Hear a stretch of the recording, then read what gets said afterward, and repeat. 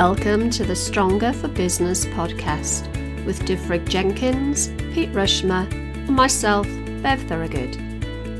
Stronger for Business is a training consortium dedicated to bringing high quality training solutions to businesses through the combined expertise of our partners. From skills training to developing personal and professional excellence, our mission is to help business owners get the very best from their people at all levels, from boardroom to shop floor. The Stronger for Business podcast is our opportunity to share our knowledge, thoughts, and ideas with you, the listener.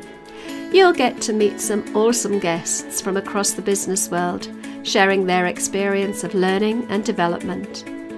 If you love what we have to say, make sure you hit the subscribe button on whatever platform you use to consume your podcasts so you don't miss out on future episodes. We'd love to hear from you with your suggestions for discussion topics or ideas for future guests. And if you really love what you hear, please do consider leaving us a five star review, as this helps to get the podcast out to a wider audience. Sit back and enjoy the Stronger for Business podcast.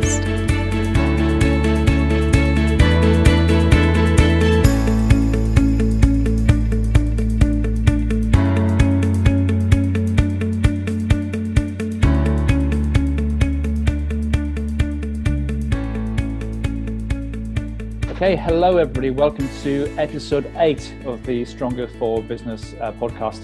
Um, I'm in the driving seat today uh, for the first time. The first time I'm leading a podcast. It's really exciting.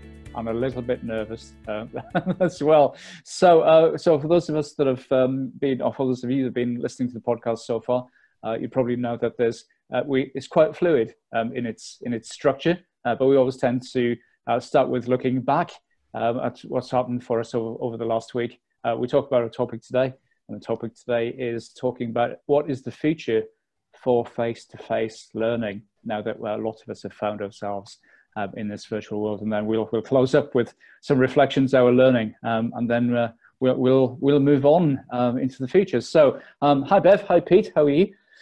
Hi Dev, I'm well, thank you. What have you been up to, Bev? Um, so this week, do you know what? I haven't been out the house. I don't think, not even for my daily walk, which is quite shocking. Um, yeah, I, do you know what? I'm finding it all a little bit confusing at the minute. A few weeks ago, it was very easy to know what we were meant to be doing. Mm-hmm. Um, in the UK, it was it was you know stay home, stay safe. And now the certain restrictions have been lifted. I, I feel I've got a little bit of anxiety actually about going outside and, and getting it wrong, mm-hmm. which is silly. I, I, don't have any anxiety about going out and catching coronavirus. That'll happen if it happens. But I, yeah, I just got a little bit of anxiety around.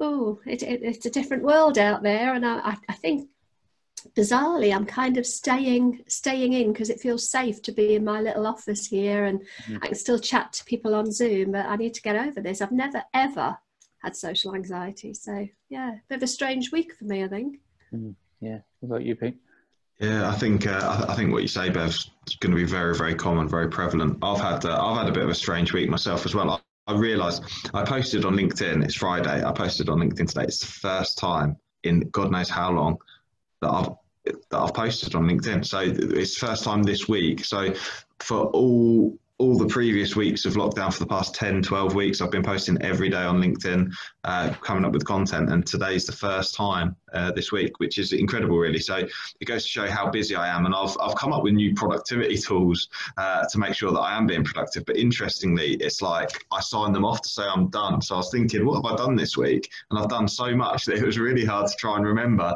But um, yeah, very much for me, it's a bit like I'm back in the I'm back in the training room, as you can hey. see from my background. Oh, wow. I'm back in the you know I'm back in the training room. Um, I've got new uh, I've got a new shirt, so I've had some new um, new shirts made uh, this week, and I've also had some headshots done as well. So that was quite interesting, and it's been interesting interacting with people more face to face. So I've done quite a bit of interacting face to face with different people, and everyone's take on what they're comfortable with on mm. social distancing. So it's really really interesting at the moment, going out and starting to do a bit of business again, sort of face to face with people. Is this a, a, bit of a rebrand then, Pete, for you? Is it, or is it just an update of the the wardrobe? Yeah, so thank you. Uh, it, it is actually it is actually a bit of a rebrand. So uh, the business started out as flagship trucks. We then um, ran dual branding with flagship trucks and training, and now we're we're sort of dropping dropping trucks and training to flagship uh, because we're, uh, we're, we're going to be doing training still uh, and obviously still going to it's a massive part of our business but actually we're taking on some more consultative work as well uh, around health and safety and human resources. So we're going to be flagship partners uh, as a bit of a rebrand. That's going to be relaunching later this month, which is probably why my head is all over the place because there's so much to do. Mm-hmm. Fantastic. No, it's brilliant. It's great to see you back in the training room as well. I can't wait to get my foot back in into the classroom. So yeah, it's, mm. yeah, it's, it's really exciting. That, yeah, it's interesting that you're evolving your brand as well. So the business is, is still reasonably young, isn't it, as a, as a business? Uh, but it's That's interesting right. that you're evolving the brand and that there's a need to do that. And you're kind of thinking constantly about, about the future. Um, so it, it makes sense to, to, you about your kind of proposition as a business, but it makes sense to, to quite a wide uh, customer group as well. Yeah. Hundred percent. It's been a really interesting week, which I, I, suppose leads in leads in well to the conversation topic today. So I was here quite, till quite late. We'd uh, we'd previously got rid. We'd got a big boardroom table which we used in the training room for people, and a lot of the training we do is practical, particularly first aid. And uh, we'd actually ended up getting rid of the, the table, and uh, and I dismantled it. I'd put it away for safekeeping. And actually, I was here till quite late the other day, bringing it back and actually putting it back up um, because it's a natural it's a natural social distancing tool. Barrier, yeah, yeah. Yeah, it's a natural social distancing tool. So yeah, it leads in well to the conversation today, Dove. Yeah, it's really interesting. Um, it's funny, Bev, you're talking about the, the anxiety about, about going out. I've actually got quite comfortable being at home. And, and like a, a, lot of um, people, especially um, s- smaller businesses, you know, we take, we can work from home if, if we choose to. Um, but yeah, it's, it's quite interesting about actually what, what's it going to feel like to go out. And then, you know, if you do drive somewhere to the supermarket into a different town and go, well, actually everything's still there. You know, nothing physically has changed in the environment really, has it? Um, but I was talking to some friends last night because uh, we had planned, are planning to go to Italy for two weeks. And of course, when all COVID started, Italy was the, the epicenter, if you like, in, in Europe. Um, and that was a challenge. We didn't think that we were going to go. Uh, we socially distanced in our friends' gardens last night, which is always really weird. You can't shake hands and, and hug and you know all that kind of stuff. It's still a little bit weird after all this time. And we are having this conversation about do we now go on holiday or not because it's getting quite time critical because it's about 10 weeks away. We don't know if the airline's going to fly there. We don't know how safe it's going to be on the on the plane or not. So actually, it's really interesting that we've got to where we are, but now there's almost it's a different kind of anxiety about what the next couple of months are going to, going to be like. And actually, are we going to do the right thing? You know, there, there's lots of people who are absolutely doing the right thing. There's lots of people out there that are potentially not doing the right thing as well. It's just but, where do you find yourself uh, kind of navigate through that? It's yes, really quite you, range of emotions again. That's exactly the problem that I think I'm got. I've got in, in in my sort of head. This conflict between what if I think I'm doing the right thing, mm-hmm. but I go out and I'm chastised in some way for getting it wrong. That there's some sort of protocol or etiquette that I've skipped because I missed one of Boris's or, or one of his um, colleagues, uh, you know, five o'clock um, briefings, and, and I've because it seems to be changing day by day, and uh, there's just this fear. Maybe I'm just not a rule breaker. I always thought I was a bit of a rule breaker, but maybe I'm not. Maybe I don't like, you know, being put in a position. I think this, as well, there's been a lot of griping and division on social media and a lot of almost sort of name calling when people have got it wrong. And there's the whole Dominic Cummings thing, whatever your views on that. You know, some people think he just made a he made a, a judgment call based around his family and you know maybe it wasn't the best judgment call but it was done with good intent and other people are absolutely vilifying him for you know for just being a blatant you know blatantly um, flouting the rules and i think for me it's that anxiety between what if I think I'm getting it right and I go out there and I turn into the next Dominic Cummings, you know, and I'm, I'm but it, it, it, okay, so I'm a bit over the top there, but there's definitely a bit of a resistance in me, and it's making it harder to get out every day. Mm-hmm. Um, and I know I need to, I, I, need to not let that take hold. I need to kind of move up, move out uh. of that before it becomes an issue. Because you two know me, I am not you know, I don't have social anxiety in any way, shape, or form. I have no problem getting out there, and actually, I love uh, you know, I love being on the road and I love going to different places and meeting new people. So it's a bit of a, yeah, a little bit of a, a challenge for me at the minute. Yeah. There's a lot going on in the head. It's, it's, inter- it's, interesting. Sorry, isn't it fascinating? Dominic Cummings, we spoke about him two weeks ago on the podcast, yeah. and he was like, and then it erupted. And then it just erupted. I felt like Mystic Meg. I felt so special. I felt very ignorant when you mentioned his name because I didn't know his name then, and maybe this whole debacle is to make sure that I understand who he is. There we go. Exactly. It's all about you, Bev. What I'd, Always. what I'd say is you know, we had we had a supplier come into the training room this week, which was really interesting. Um, a guy called Dan Photographer.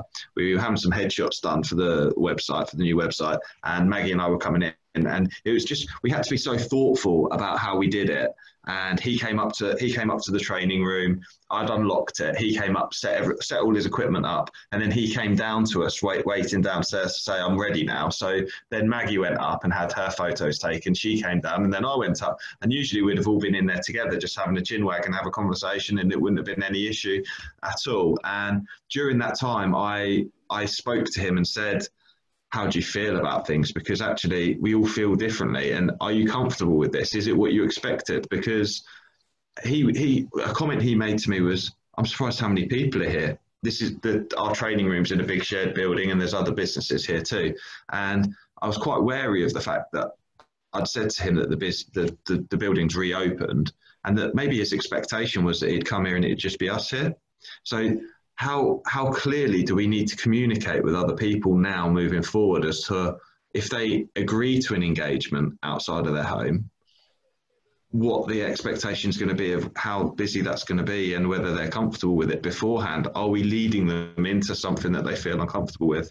It was just something that we were considering and talking about. It's quite yeah, i think that's really important because um, you know with different people they might be healthy and not in a high risk group but they might have some family members you know or people that live in their own home that suddenly potentially and inadvertently we could be um, exposing them to, to some risk.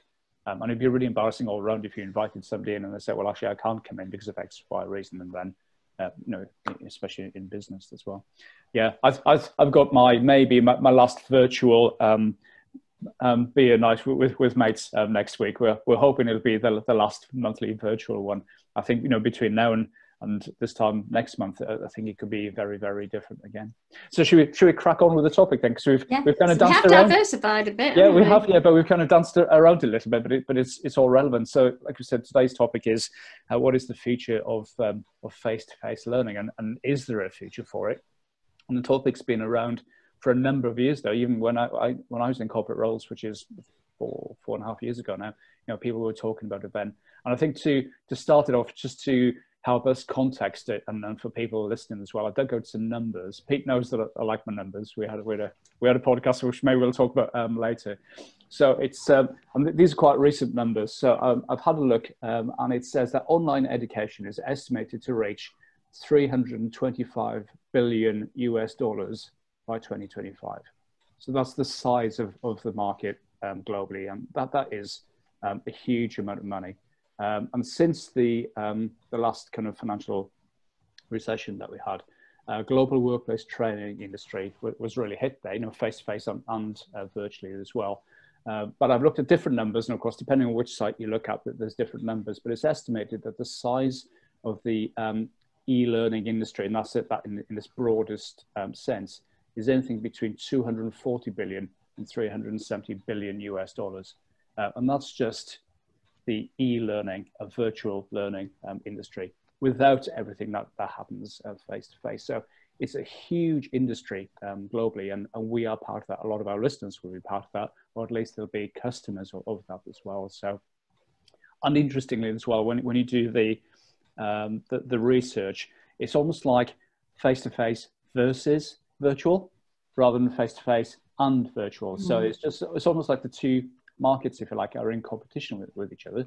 And, and, in a lot of respects, they are, rather than working in um, collaboration with each other, uh, which is quite interesting. And, it, and what's also interesting to observe is there's not a lot of statistics out there for face to face. So, as, as an industry, the face to face stuff isn't kind of marketing itself and saying this is what we're worth and the value that we add. whereas the um, the e-learning industry or the virtual industry is is highly competitive um, and, and very monetized and money orientated and they are really positioning themselves in the market and i'm not saying that's right or wrong but it's just a really interesting observation were those figures related to um, B2C training or B2B uh, training, or was it not broken down? Because you've got the likes of Udemy, Udemy, Udemy. I never know how to say it, Udemy, and those are the sort of learning platforms that are really they're, they're kind of B2C platforms, aren't they? Mm. Um, it'd be interesting to know what the breakdown between of, of that that sort of number is in terms of business training and personal training. Yeah, what I would also have loved to have seen, and, and I must admit, I, I'm sorry guys, I've been really remiss. I haven't had a lot of chance to do any research around today, so you're just going to get my opinion with no, absolutely no, no backing whatsoever. but it would be really interesting to look at the um, the effectiveness in terms of I mean, when, when, whenever you deliver any kind of learning, the objective is to create change in some way, whether that's a a change in skill, skill level, a change in knowledge, a change in behaviour. Uh, ultimately, I think it's that behaviour change that, that we're looking for, and it would be interesting to know the effectiveness of purely online learning on behaviour change. Yeah, well, it's interesting actually because um, I, have I've read with an open mind um, what what people have been writing, um, and it's again, it's interesting because the the people who are writing blogs and websites, especially providers, uh, have got a very strong case uh, for for virtual learning. But there are some spurious claims out there um, as well about how beneficial um, it really is. Um, and I read um, that social learning. So this is people learning from each other, but in a virtual environment and in the uh, traditional environment as well accounts for about 75% of, of informal learning. Um, and I think that's something to, talk about as, as we go through uh, this podcast is, you know, virtual learning in its broader sense. It's not just sitting in front of an e-learning module, clicking next, next, answering a few questions. It's the, it's the whole kind of social learning and online collaboration and, and things like that as well. Um, but, but there's one line which I read literally just before we started the podcast, and it says the social learning, like group learning and face-to-face interactions, is now very outdated. And oh, really? Yeah, I thought, well, that, that that's that's quite a, a big claim, mm. uh, and uh, yeah, so so maybe we can start to pick through that because that is the the subheading, I suppose, for the, uh, the for the subject of, of today. Yeah, I like. I mean, going back to what you said earlier about the idea that there, there's almost the, this sort of us and them mm. around virtual learning and face-to-face learning, and you know, I, for me personally, I know I think I learn best when there's a more blended approach. So, um, a, a, blend of virtual learning and face to face. But I think for me, the the the benefit of face to face, and I will always be an advocate of face to face. I totally disregard that last comment that you uh, that you read out. Mm-hmm. The the benefit for me in face to face is the time outside the classroom rather than the time just inside it. It's the the coffee breaks and the, if you're you know if you're on a, maybe a residential course it's the meeting up with your, de- your, your fellow delegates in the you know in the bar later on and it's that reinforcing of what you've learned through conversation that I, I i wouldn't i don't have a percentage for it but i would say the percentage is high in terms of the learning you know where the learning comes from whether it's from the, the sitting in the classroom or or actually the the the peripheral learning, if you mm-hmm. like, that you get from the interactions with with the other people on the course. And I think you know the, the that blended approach with with with some virtual learning um, and and some face to face. It, it kind of it, it's a better a, a, a, broader way to meet all of those different learning preferences as well isn't it you know if you've got people who need a little bit more time the e-learning is brilliant because you can go over it again and again and again uh, until it's it, until it's embedded in, in, in you which you can't necessarily do if you've got a you know a one day workshop uh, if you you know you switch off for five seconds and you've lost the thread mm-hmm. and you don't want to put your hand up and say i switched off I, have missed all that at least with e-learning you can kind of go back and reinforce it mm-hmm. so i hope and pray that face-to-face learning isn't dead not just because you know I quite enjoy delivering it, but also I think there's so much more to be gained from that that sort of face to face and that, that it, those interactions that you don't get um, through a Zoom call or you know through that kind of virtual training, even if it's live virtual training. Yeah. What are your thoughts, Pete? Because you're just saying that you brought your your, your big table back into into your yeah. So, it, it, do you know what? It's quite it's quite exciting to see what's going to happen. Really, I think um, to give to give people a little bit of background with the training that we deliver. So we've been doing blended training for a long time, um, and we've we've got a suite of online e-learning courses which are predominantly uh, predominantly sort of health and safety and mandatory oriented, but there are some business skills in there.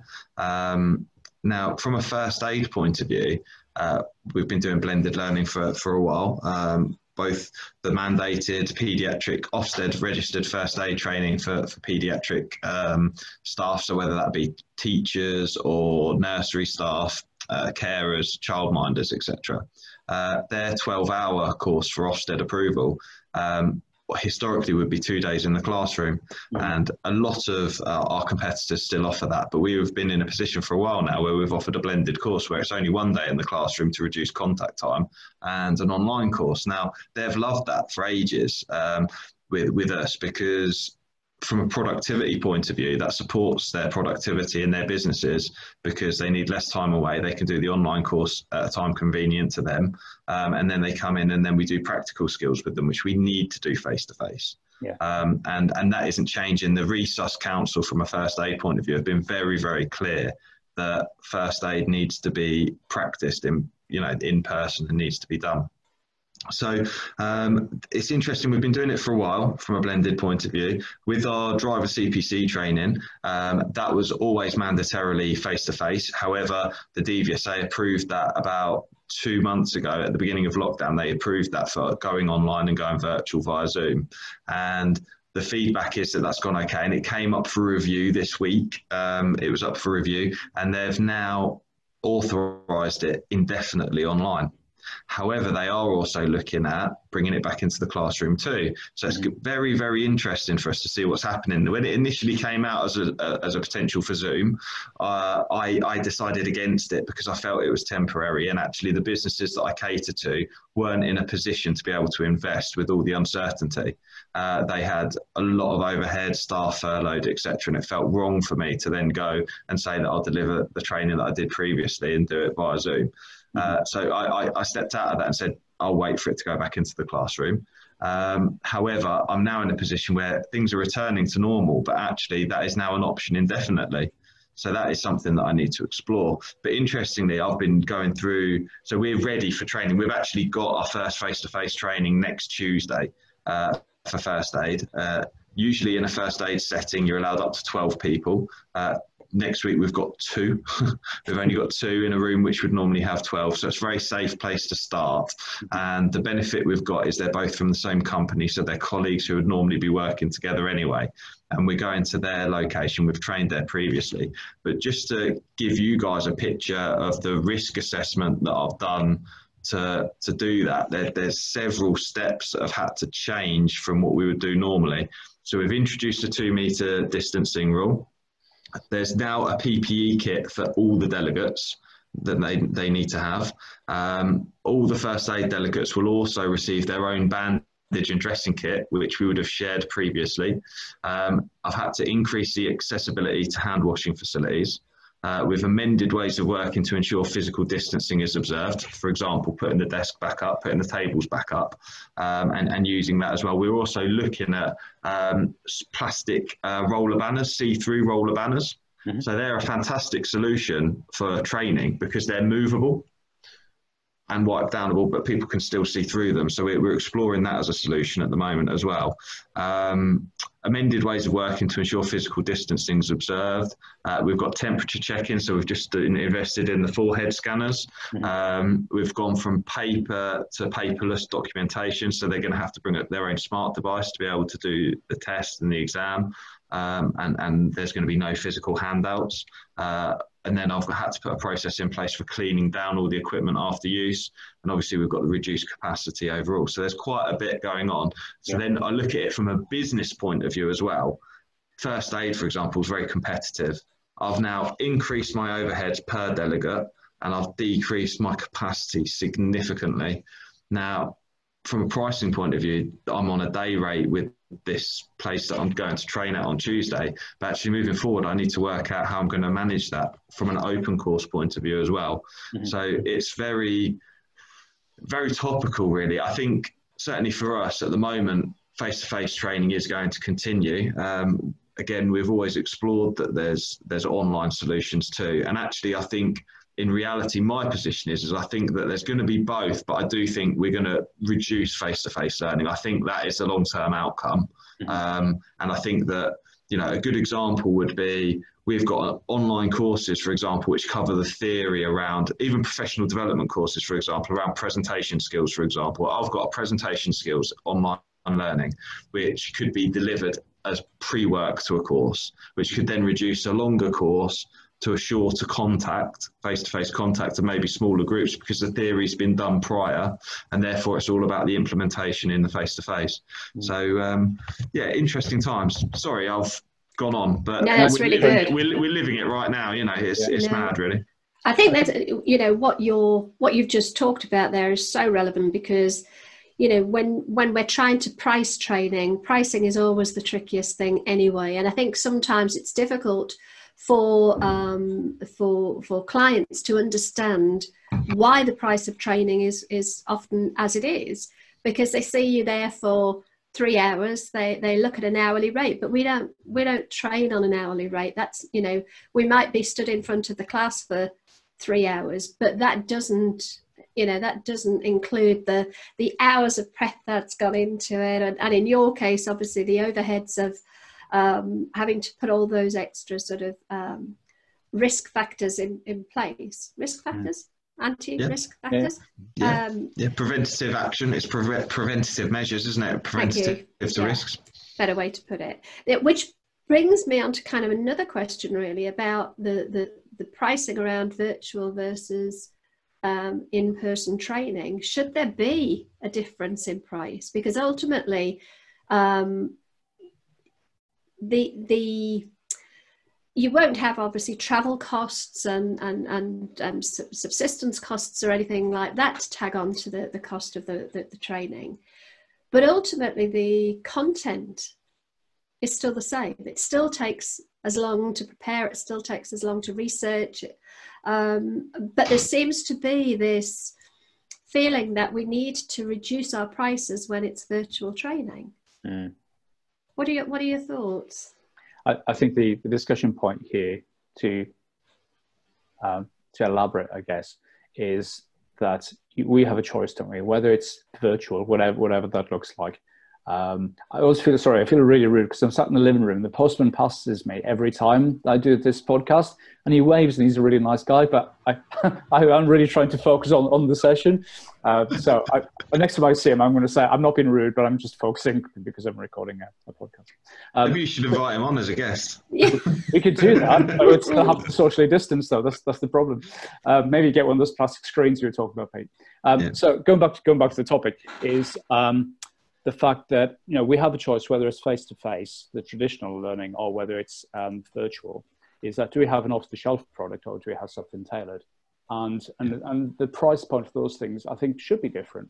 Um, and you know there is definitely a time when you have off the shelf, you know, like so some Pete's sessions. I've, I've seen them, I've, I've sampled them. It's really good quality, uh, and but those are off, off the shelf, and that's fine for some people. But for other people, it needs to be a little bit more tailored. So I think you know, as as you would be, um, with, you know, if you are a traditional provider and you're delivering something that's that's fairly standard, and the, and the client or the customer doesn't want it to be tailored, then that might have a different price point. Um, so I suppose it's it's very easy to say for this it'll be this price, for that it'll be that price. Um, my view is we should always, nearly always, tailor to the content, and uh, so the context mm. of the organisation that we're working in.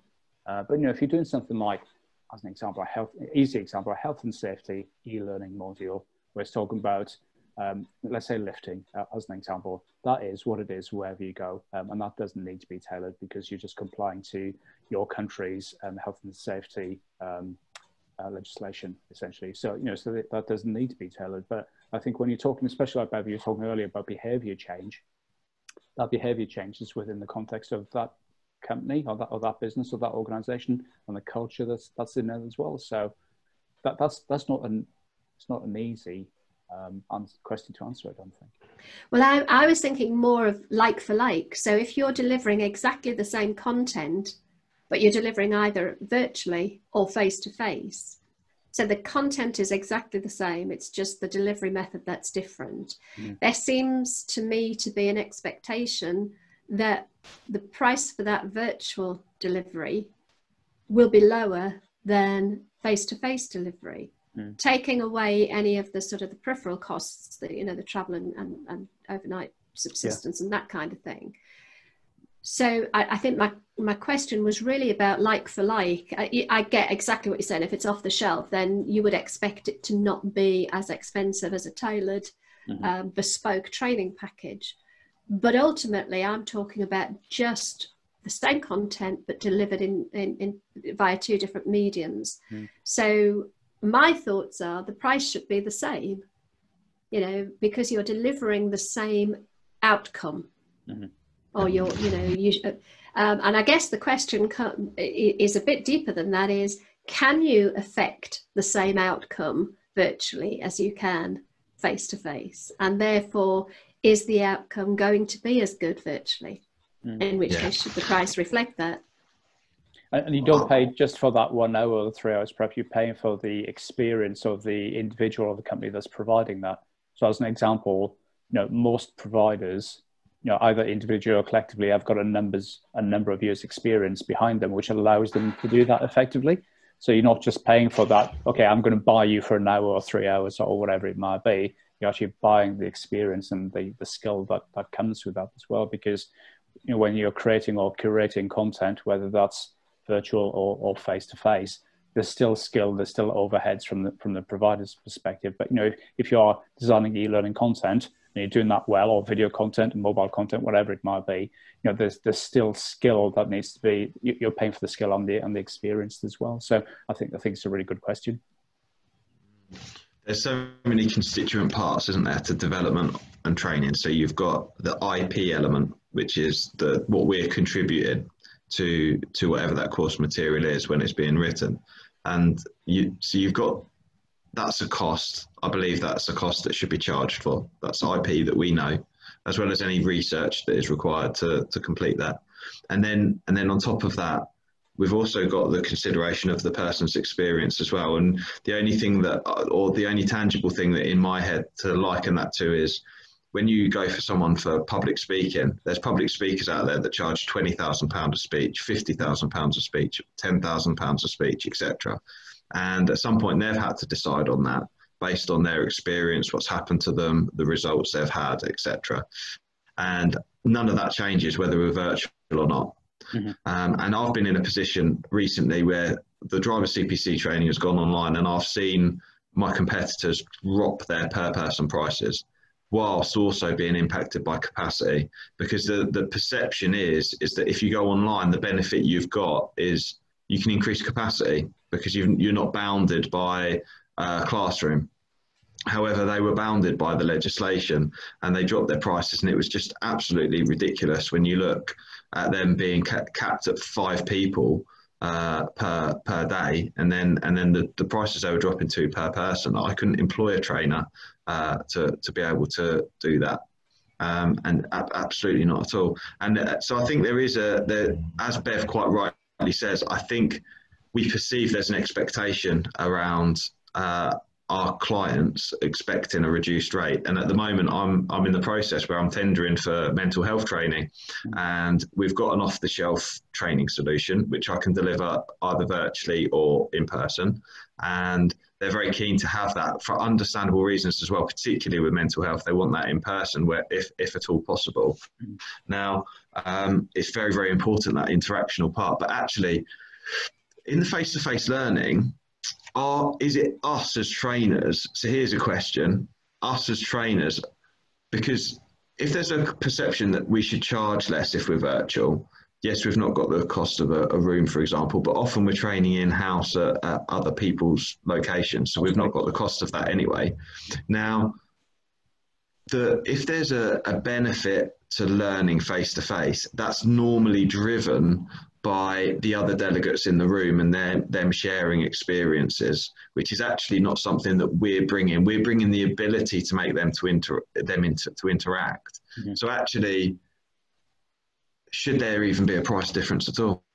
And in in my opinion, I don't think there should. Yeah. Well, I don't think there should either. Um, I, I think, think all aligned on nothing. no, I think if you're yeah. delivering in person, it, it's very different. If you've got an e-learning package, it's pre-recorded package. It's a click and learn, you know, click and watch.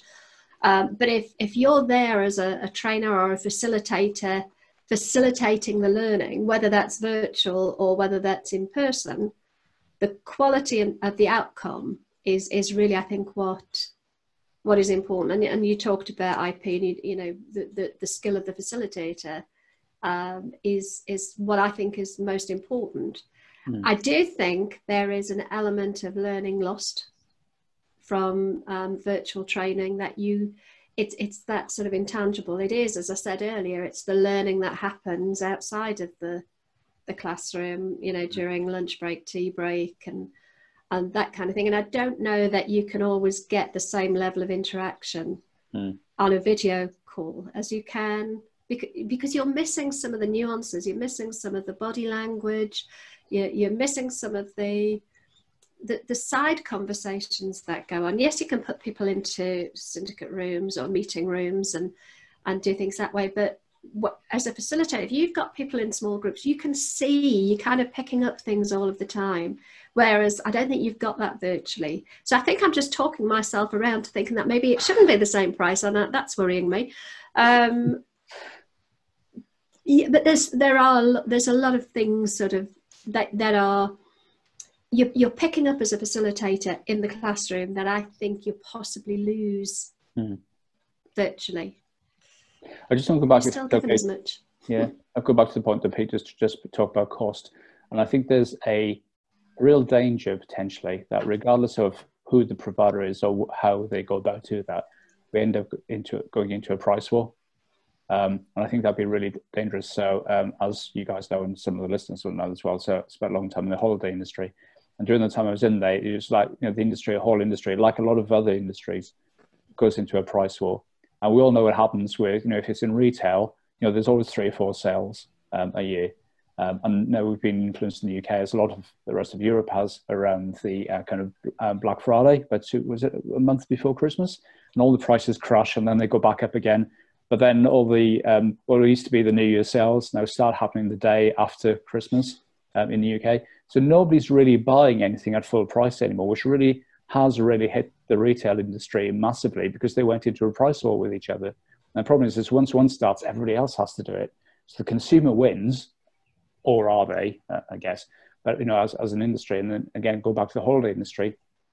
You know, prices were getting slashed quite heavily. So in the UK, traditionally holidays would get sold after um, after New Year, uh, and then prices would get um, slashed quite quite heavily. And one business started to do that, and then everybody else had to compete. And then all of a sudden, you know, for margin, then uh, for the um, for, for the businesses, then really really gets squeezed. But I think also then when your margin is squeezed, your quality of your product is getting squeezed as well. Uh, so I think you know initially the consumer, the, the customers potentially might win because they um, the fees they're paying come down, but actually the quality of the learning in the longer term then gets reduced as well. So I think that's that's a real red flag for the industry and for the customers as well. That you know if we start going to get into a price war about regardless of what it is or how it's delivered, I think that that's something to be to be aware of. In my previous job role, you know, I had a sizable training budget. It was it was a six figure training budget that I was responsible for. Um, you know, and, and I, am quite. I'm not tight. Some people might say I'm quite tight. My family might say prudent. Prudent is, is a much better word. I'm cautious, um, and and we nearly always finish the year um, just just about cl- clearing the, the the amount every year. Uh, but you know, you have to be quite quite careful. And it's interesting. Pete was talking earlier about um, know, so for especially for your mandatory compliance kind of learning, and all businesses need to have qualified first aid people within in their organization. So you know, there might be an expectation that uh, you know, the fees or uh, for whatever might be might be coming down as you go into a virtual world. But the reality might be, you know, if I was um, in a in a corporate again and I had a training budget, actually my cost for first aid training might actually now be going up, particularly in, in the short term, maybe for the rest of this financial year, because I can only put two people on a first aid training course rather than eight, maybe. Oh yeah, I'm, I'm doubling my prices. Unfortunately, yeah. that's what I've got to do. And even then, the margin. I've done a cost analysis. Even then, the margin isn't going to be as good as it was before because when you're charging per person, it's driven by capacity. Can we can we re-say that little bit? I, uh, your the the screen froze, Pete. So um, from when you said I'm doubling my prices, can you go back to that and we'll edit that bit in? Okay. So I'm doubling my prices, um, and and the reason for that is that because we've got an increased cost per person, but it's mostly due to capacity. When we've had to reduce to a third capacity, that it, even by doubling, if I do a cost analysis, uh, I'm still going to be challenged by that. But I think what I need to be most careful of is how well I communicate that to my clients who are buying, because I think I think they'll understand. I, I believe the right clients will understand that that's what they need to do to get quality training, mm. um, and and that that's the the, the, the, challenges that we now face as an industry. But I think my concern is, is I, I feel that particularly yours, your concerns will be, and, and, and the concerns for any trainer is that other people who are also tendering for that business probably haven't considered the impact that it can have on, on everyone if we start to slash costings and pricing. Mm-hmm. And it has an impact on the overall marketplace. Yeah. It is about holding your nerve, I think, and, and, and having absolute confidence and faith in the ability to provide the outcome, mm. and therefore holding your you know your nerve on on the price and and not overcharging. I'm not talking about you know being ridiculously greedy. I don't mean that, but being realistic about the, the cost uh, and the benefit, the the the, um, the the the transition or the transformation that your training can create. And I think there is a danger that people are going to panic and feel like they have to start cutting their prices, especially if it is going more virtual.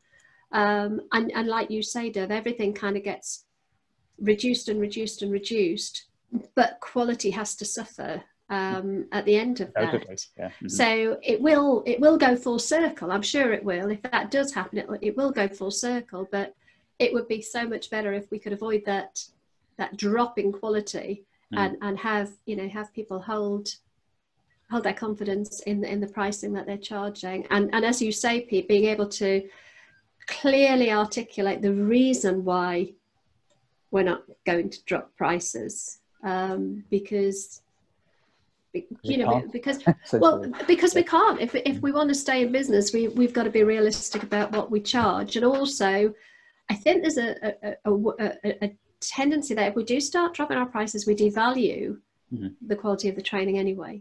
Mm-hmm. And for our customers as well, is you know when they, um, you know, for, for many uh, they'll be in a new financial year now, um, and in you know for most organisations and businesses, training is one of the first things that gets cut. I mean, training in its broadest um, sense, um, you know, like marketing and communications mm. and, and, things like that, which is absolutely counterproductive uh, from an organizational development perspective. But you know, but that's that's the way that it is because it's it's an easy way to save money. Uh, but I think you know for for future planning, um, you know, because people as as we go into the summer, we'll be kind of halfway through the year, um, financial year. And then started to forecast what they might need to spend in in, in the future as well. So I think there's there's like many things at the moment, there's lots of things to think about when you start to forecast from your from your business spend. You know, if you have a, a learning and development budget or whatever it might be, and, and, maybe start to talk to your suppliers and thinking, what you see are the challenges going to be for the future, rather than maybe sitting there independently thinking, right, I've got my spreadsheet in front of me, I'm sitting with my finance partner. Um, and sometimes, again, you need a kind of crystal ball because you don't always know what it is that you need to be spending your money on in the future. But but maybe for for corporate um, customers or organizations actually start talking to your to your suppliers uh, and start to think about you know what are the challenges? What is it i need to consider as part of my financial planning for for my training budget um, in the future? Because it, will change maybe not massively but where you spend now you might not be spending there you might be spending somewhere else. So will there uh, the budgets need to increase or decrease or stay the same i don't know but but probably just have those conversations i, I think for for the longer term for the next financial year um, and, and the year after that. I suppose I think there's a danger um, that that the, the, the number crunchers look and go, oh, we can have this virtually, and it's going to cost us much less than having it face to face. Let's just look at the numbers and, and mm-hmm. not actually looking at the the, the transformation or the, the, the change that they're actually looking to get. Um, and I'm guessing that's you know that's always been the case, hasn't it? Yes, yes, it has been. so shall we use this opportunity then to move away from the the, the finances because I, I think I think we're comfortable that we've we've, we've raised that, yeah. that red flag, um, and then start to think about actually, you know, what is the the value or, or return on investment, um, if you like. You know, going back to the question, is there um, will there be a f- place for face to face learning in the future, um, and is it one versus the other, or is it um, those two things? Uh, depending on the, the need, I guess, because that's something I always used to talk about. Is that somebody said, oh, "We have to do this training for my team or my department or this function." So my question is, why? going back to the why question, why, why do you need to do it? What is the need? Do you want to do it? Um, but actually, let's just get into the detail and actually understand what, what the need is. Yeah, and I, you know I do like I, I, I, do like the fact that I think the the whole lockdown COVID nineteen stuff has got people thinking in a different way. They've, it's got people more comfortable with technology. It's got trainers and facilitators more comfortable with the online environment. It's got um, it's got attendees more comfortable with that that that um, platform. So I think in terms of how we how we look at trading going forward, I think there's definitely a place for both. Mm-hmm. Um, I genuinely think there is still a need for face-to-face training, but I think there's a, a, a there's a, a, great opportunity to be more innovative, um, innovative rather innovative, innovative in the way that we deliver the content. So maybe we don't need to be going in, if we've got a six month program, maybe we don't need to be going in every month. Maybe we can do a blend of both. I mean, I did my degree um, a few years ago with Edinburgh Napier University, and they used to send a lecturer down once a month to do a workshop, but actually, um, we had another lecturer who did everything online and I'm talking five or six years ago, and the university had it. It was a work-based degree, and they had that down brilliantly. Mm-hmm. But I think looking back, we needed both.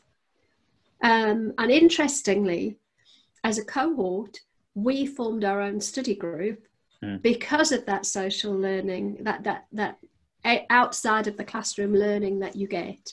Um, so I think my my hope is that we won't go from one extreme to the other. We will innovate and create a blend of both, uh, which is already being done, but maybe more um, trainers and facilitators and companies and businesses will embrace that blended approach. Yeah, I had um, on, on LinkedIn this advert came up. It was only yesterday actually uh, with uh, one of the major universities um, in England uh, offering a high impact uh, leadership course. Uh, the price point is about two and a half thousand pound plus that, probably uh, for a something like a 60 day um, course, probably about 10 hours, eight to 10 hours a week um, of, of, study time. Um, and you know, it, it was very valid. It, it, looked great. It's very nicely packaged, um, as as you'd expect. But I thought to myself, so we're talking about leadership, but you're doing that by yourself. And there's, an, there's theory, a, isn't it? Yeah, absolutely. And there is an irony in there because you know when you are a leader, you're not leading things; you are leading people. Um, and you know, it's it wasn't ridiculously expensive because it, it was giving you an, an, insight into leading high impact high impact leading in today's world. So you know, talked about VUCA environments and, and, things like that as well. You know, but for me, the concern is uh, that you know, can you learn to be a leader um, when you're not having those kind of discussions? And uh, it doesn't have to be residential, and it doesn't have to be a whole day, uh, or, or, you know, the more traditional five days away um, in a hotel or whatever it might be. But I'm just wondering how transferable, because this is what we talk about when you're learning, is how we transfer that learning and apply that learning. Um, and you know how, how sticky is, is the learning I, I, guess is, is the term um, and now how useful is a 60 day course on leadership when you're not actually talking with other leaders um, yeah. and, and you know that is and that's not a criticism i think it's, it's, it's just a question but then you know to balance that out again a bit of research uh, that, that i've read up on today says e-learning can boost knowledge retention between 25 and 60 percent. Um, and, and I, I, don't doubt that, but I, but I, suppose it depends what e-learning that is. I've certainly done compliance learning, e-learning before, where it's the same thing every year, and you just click the button because you know the answer because you do it every year. Yeah. And you don't learn anything from that. Well, you could say there is knowledge retention there, but it's not in, you're not learning anything new. You're just doing it because you have to do it for compliance reasons. But there's other e-learning which can be really interesting and really creative as well. But I suppose it's it's going back to why are we doing the learning and actually thinking about what the outcomes are at the start of the design or the commission um, or, or, whatever it might be. Um, and actually, actually understanding what is it that we really want to get um, out of that learning, regardless of whether it's face-to-face, uh, mobile, social, or, or, a blend of all of those things. Can you believe we're at the hour mark already? We are. Very nearly. Wow. So, it flies by, doesn't it? it. This is probably one of the, the quickest hours of the week. Um, probably because there's just so much to talk about. You know, in all the content, um, mm. there is just so much to talk about. So, should we should we talk about really quickly then? Uh, what what have we learned um, this this week? Who who'd like to start? Who'd like to start? Go on, go on Bev. We're ladies first. Thank you very much. I, I, do you know, I was, I was sort of racking my brains. Um, I think we're learning stuff all the time, but the thing that sticks in my mind is really I, I did um I, I was on a, a, Zoom call today earlier this morning with the School of Facilitation, and what I learned was some of the tricks. I suppose tricks is the wrong word. Techniques that you can use to enhance the experience of the learner using uh, virtual learning um, platforms like Zoom. So I'm not talking about e-learning, you know, um, as such, but how you can make your presentation online much more dynamic, much more interesting. And it, there's things that um, sort of plugins that you can use, like second cameras, to to add interest. And I think that the one thing I kind of picked up from it more than anything was the, the, need for interest and visual interest online i think is so much greater than it necessarily is face to face you know my slides in, in a face to face setting are really they're there they're, they're not there to detract from me. They're there just as a bit of a visual prompt. Whereas i think online you need that, that sort of visual stimulus to mm. keep people interested more so than you do face to face. So it's got me thinking about how I design. I, if I'm honest, when I've delivered virtual training, it's been almost a sort of I pick up my slide deck from the face to face sessions and move them online. And I think there's I think there's a difference in how we need to be presenting information online. So that was my learning. I'm going to go away and sort of review some of the, the ways that I deliver online training and try and hopefully make it a bit more visually um, interesting. Mm. And I think that's a key point, and conversations I've had with L&D um, specialists uh, and providers as well recently is, you know, virtual learning is not necessarily taking your um, your face-to-face content and moving that online. It's, it's it's a different skill. It's con- fundamentally the content might be the same, but how you do that, I think there's there's a whole new skill base uh, for, yeah. for, external providers like ourselves, but also internal L and D teams. There's there's going to be a whole new thing to learn uh, about how we do that because we can't. It's not a lift and drop into a, in, into a mm-hmm. different way of doing it, different platform. Uh, there's a whole new skill base to learn as well. How exciting is that, though? Very exciting. How exciting yeah. is that to to learn new skills about something we've been doing yeah. for so long anyway? I love that. Love yeah, that. and not, and not be, not be uh, frightened or threatened by it as well, but just take it as mm. as part of our own CPD yeah. too. What, uh, Peter, what have you learned? Yeah, so I'm, I'm, I'm going to give you a little bit of a further paradigm shift because it's something that I've been thinking about. And uh, that was as I've been tendering for more mental health training. And that is, we were bounded when we do classroom training and we do it a distance away, we are bounded by delivering in times of days at a time. And I think actually we can deliver virtually if we shift our mindsets and we shift that of the clients as well depending on what they need but actually we could deliver more regular shorter sharper lessons and mm. classes and training and development and we're not bounded by outcomes of a day or half a day anymore mm. yeah those those learning those learning start those learning sessions could be completely changed, and we are unbounded by distance. Mm-hmm. Yeah. Is this actually happening, or is this um, something that you're sort of uh, hoping for? Is it is that change already this happened? Is, no, this, this is something that I'm exploring in in a tender proposal that I'm putting forward now. Okay. Brilliant. Around around mental health training. So rather than it being the, the traditional, I, I compete. I, I, I make no uh, bones about it. I, I compete with the mental health first aid solution, which is what's out there currently for, for many companies, and many companies are choosing that, which is follows the format of two days, one day, half day. And um, I think that uh, that certainly for that that is now being lifted and pushed into a virtual setting. Um, and I think that actually a mental health solution would be much better being half hour sessions hour sessions over a prolonged period of time to develop people and develop thinking over a period of time. And that's something that I'm putting forward as a proposal, yeah. which I know that my competitors can't compete with.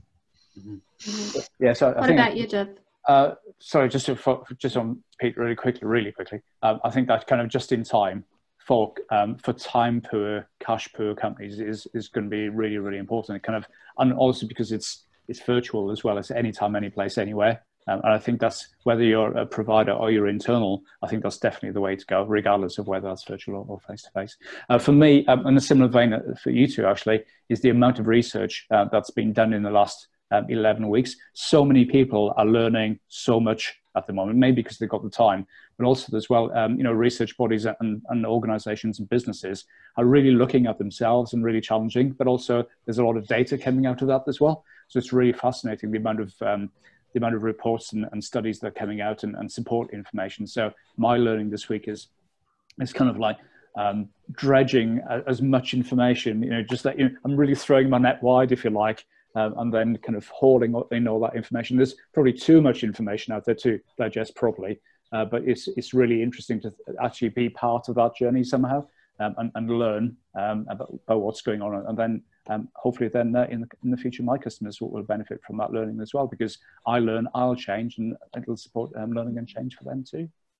You know, there's lies, damn lies, and statistics, don't you? Yes, yeah, I do. Yeah, you take everything with read. a pinch of salt. Yeah, but, you know, but, but, if enough people are saying a similar thing, then there's yeah. going to be some, some, truth in that, I guess. Okay, cool. So uh, we're coming towards the end of the podcast. Um, any, any, final or closing thoughts from anybody about what we're up to? Um, no, all we done for this week? Just amazed we're into June already, and after all the lovely weather, I had my log burner on last night and a blanket over my legs. I'm, I'm looking out the window and it's pouring with rain, and I've got to go and collect some fixed bikes which is very disappointing because I was looking forward to getting out on my bike and I don't really fancy it. I even got hailed on last night walking the dog and it's what June. Is going so on? Crazy weather. What's going on? But the lockdown tan's still there, so fine. Yeah, it's not washed off yet. okay, cool. Uh, thanks for joining us um, again this week, everybody. Remember that you can listen to us on lots of different platforms. Um, remember to subscribe um, and share with everybody else. We will talk with you again next week. Thanks a lot. Bye bye. Cheers, guys. Bye. Bye. Thank you for joining us on the Stronger for Business podcast. A final thought before we go. In the words of Henry Ford, anyone who stops learning is old, whether at 20 or 80. Anyone who keeps learning stays young. So, stay young and join us next Friday for our next episode of the Stronger for Business podcast.